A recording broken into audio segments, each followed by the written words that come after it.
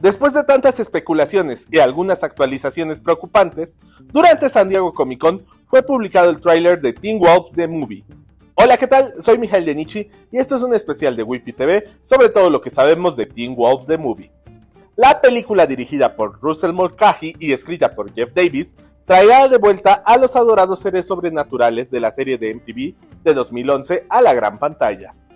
El tráiler confirma la reaparición de varios miembros favoritos del reparto, como Tyler Poisey como Scott McCall, Tyler Hoy como Derek Hale, Shelly Hennig como Malia Tate, y no solo esto, sino que también se revela el regreso de The Oni, los principales antagonistas de la tercera temporada. También regresan Colton Hayes, Dylan Spayberry, Ian Bowen y Linda Nashby, entre otros. El regreso más sorprendente se revela al final del tráiler con Crystal Red como Alison Argent, quien vio su final en la tercera temporada de la serie.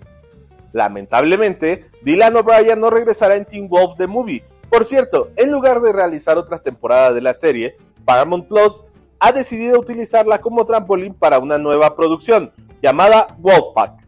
Dicha serie no tiene ninguna relación con Teen Wolf, y de hecho se basa en una serie de novelas del autor canadiense Edo Van Belkom.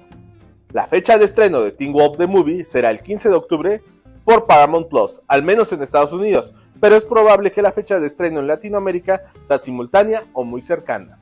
Yo soy Mijael Lenichi y nos vemos a la próxima.